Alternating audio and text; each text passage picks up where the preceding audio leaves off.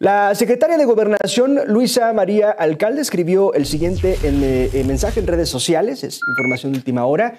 Tras un proceso de consultas públicas a colectivos de víctimas, personas expertas y organizaciones de la sociedad civil, el presidente Andrés Manuel López Obrador dio visto bueno a la propuesta del nombramiento de Teresa Guadalupe Reyes Sagún como nueva persona titular de la Comisión Nacional de Búsqueda de Personas Desaparecidas en México una mujer sensible y trabajadora comprometida con la defensa de los derechos humanos.